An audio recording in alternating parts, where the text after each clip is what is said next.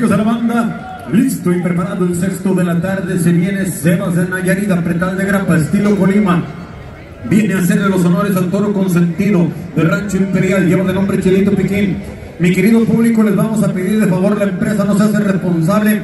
Todas las gentes que estén pegadas, las personas que están pegadas al anillo con los niños, por favor que saquen los pies, háganse para atrás. Este toro sumamente bravo, no anda viendo quién se le hizo, sino quién se la pague. Y un saludo para toda la raza de Ongaricuaro, Michoacán. Échale para atrás. Ahí tenemos alistándole el pretal, listo con el pretal de saludo a mi compa Germán. Ahora andas tardándote mucho con las aguas, mijo, te vamos a despedir. Una canción más, mis amigos de la banda, lo que se termina de listar este toro, el Chelito Piquín.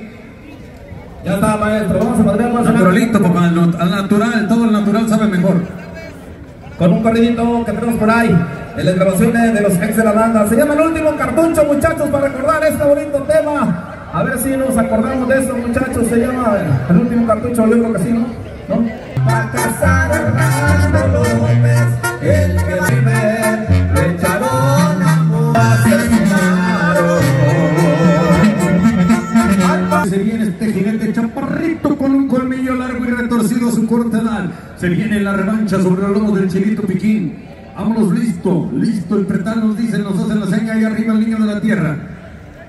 Mis amigos de caballo, un saludo a mi compa, mi amigazo Arturo Ulloa, mi compa Rudy, mi compa Rancho el Tostón. Después de este toro les vamos a abrir el escenario para que despeines ese cuaco blanco, Arturo, para que ahora sí lo tengas que bañar mañana el condenado.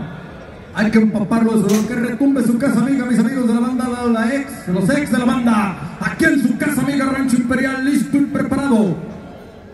Gracias a mi compa Germán por la buena amiga. Listo, listo este hombre Nayarita, Sebas de Nayarit. Listo y preparado al centro del ruedo. Le brinda la monta a ustedes, mi querido público. Dice que lo poquito, lo mucho de corazón.